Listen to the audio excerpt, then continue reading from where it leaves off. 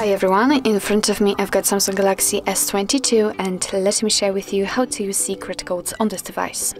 So first of all let's open the dialer because this is the place where we will enter all of them and uh, let me begin with uh, probably most known uh, code which is asterisk pound 06 pound.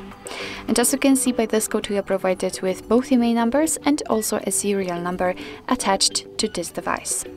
Let me tap on OK and let me show you another code, which is uh, the shortest one, I believe, and the most um, interesting one. So it is asterisk pound, zero asterisk pound.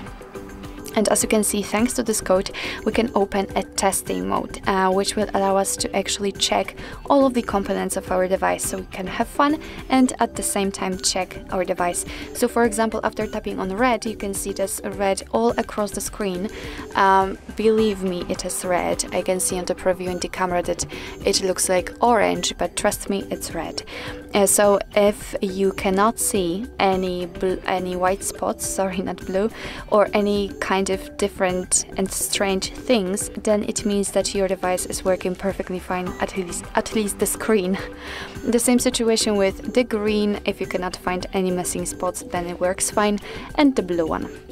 You can also check, for example, the touch, and as you can see here, we have to draw the lines in those squares and rectangles and if you can see the line uh, inside of it and also a green color right after um, drawing a line it means that everything works fine so all of the edges of the of the screen are working let me draw them and check the whole uh, the whole screen. As you can see, after completing it, it will immediately get back to this HHS menu. So I really highly recommend to stay here and have fun. And as I said, at the same time, check your device if it is working.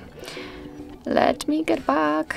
We will have to get uh, back using like double tap, for example, on the back button or double our gesture. Uh, now let me enter uh, another code which will open the battery status and the code is asterisk pound uh, 0228 pound.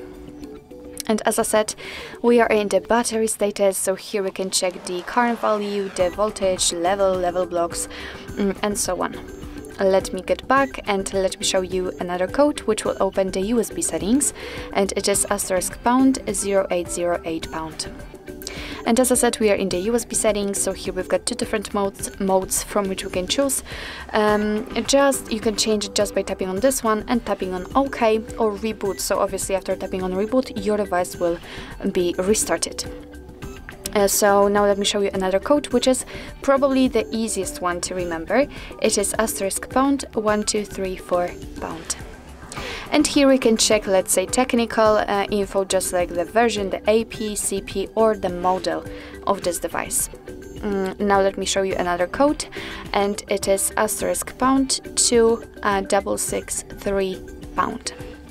And here we've got advanced firmware version uh, option mode. So here we can check also the phone's version, the developer only.